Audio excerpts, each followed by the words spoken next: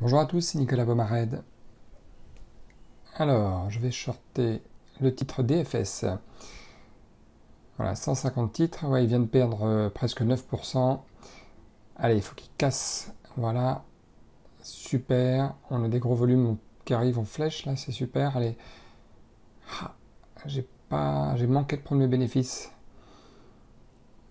J'aurais dû les prendre, euh, voilà, mais je vais essayer d'être un peu plus patient. Là, 60, 70, c'est pas assez, ça serait bien 80, 90, ça serait pas mal. Ouais, super. 118 dollars de gain en deux minutes sur le titre DFS. AVGO, là, je voudrais l'acheter ici au niveau de cette petite consolidation en cassure des 328 chiffres ronds. Je mets un ordre euh, d'achat stop limite, c'est-à-dire un ordre à plage de déclenchement.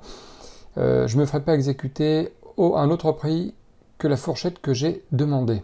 Voilà, bah, c'est fait, 80 titres exécutés, voilà.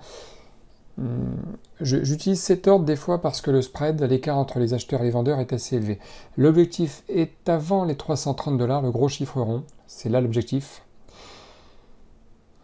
Allez, là, la ligne noire, c'est mon alerte qui me permettrait de m'apprêter à prendre des bénéfices. Gain latent 55 dollars en 3-4 minutes.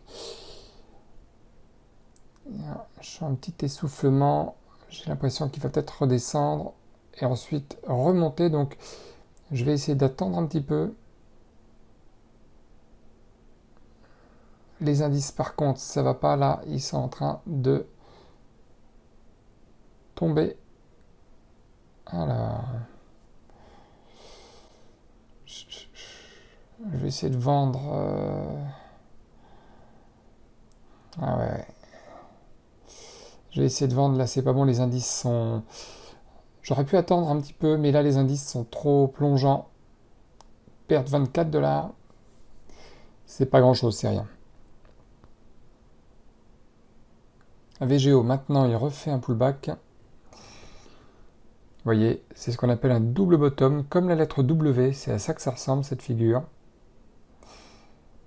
C'est un double pullback, hein, tout simplement. Donc un double pullback est plus pertinent et en général plus pertinent qu'un simple pullback qui est parfois une arnaque, comme je me suis fait moi-même avoir il y a quelques minutes en n'y croyant pas trop parce que les indices euh, chutaient également. Donc c'est pour ça.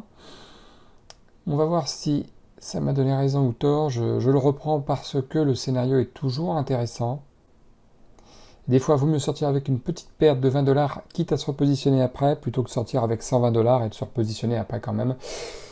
Bon, là, ça se passe pas terriblement bien. Là, c'est sûr que ça va sortir, à mon avis. Ouais, ok. Bon, bah là, c'est la belle arnaque. 134 dollars de perte. Ah, il se représente une nouvelle fois VGO. Le scénario est toujours intéressant. Il a cassé quand même les plus bas là. Euh, là, un troisième pullback avec le troisième pullback un peu plus haut que le précédent quand même. Ça serait bien que ça y aille.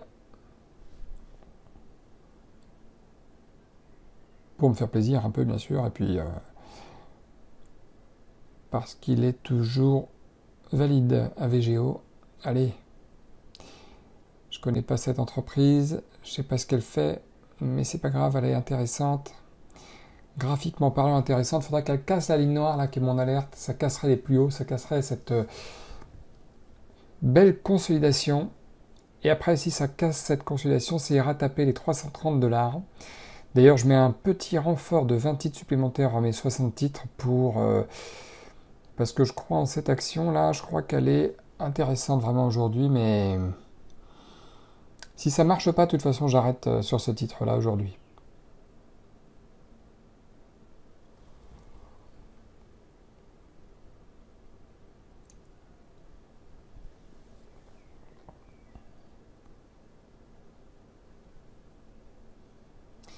Vous voyez cette ligne là, le VWAP, la ligne rouge?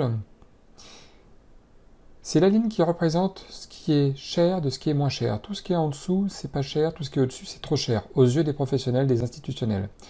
Donc tant que les prix sont en dessous du VWAP, les professionnels achètent. Si c'est au-dessus, ils évitent d'acheter en général, parce qu'ils ont, ils sont moins primés tout simplement. Le VWAP, voilà, ça représente la moyenne des prix pondérés sur une base euh, temps donné. Et voilà, en gros, pour faire simple, hein, c'est ce que je disais tout à l'heure, c'est vraiment ce qui fait la différence entre ce qui est cher du pas cher. Bon, je suis sorti là parce que les indices vraiment s'effondrent. Ils ont tenté de remonter, puis il y a un deuxième pullback encore plus bas que le précédent. Donc là, les indices sont vraiment baissiers, ils n'ont pas fait que combler le gap, puis ils annulent complètement le gap, vous voyez. Bon, deux gains, de pertes. Et vous voyez le titre comme il s'effondre à côté, vous voyez 16h19, 50 minutes après l'ouverture, le titre est, monté un peu plus haut, mais après, boum, gros chiffron des 330. Il repart de plus belle, les indices n'arrêtent pas de s'effondrer aussi. Au final, une journée plutôt flat, on peut dire légèrement gagnante, mais vraiment rien du tout. Euh, voilà, on a sauvé les meubles. Euh, si on savait, et oui, on s'arrêterait dès le premier trade. si on savait, on s'arrêterait tout de suite après avoir fait un gain. Mais comme on ne le sait pas, eh ben, vaut mieux profiter. On est toujours sur un compte, oui, euh, réel, sinon il y aurait marqué Paper Trading. Bon, bah ça, ça fait partie des journées intégrantes. C'est pour ça que je vous les montre aussi, ces journées de petits gains ou de petites pertes, vraiment, euh, pour vous montrer que ce sont les journées qui font partie euh, intégrante d'une semaine de trading type. Voilà, bah, je vous dis à bientôt.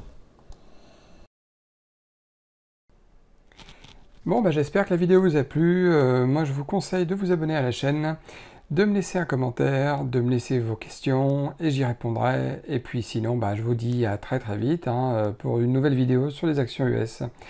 Allez, à plus, ciao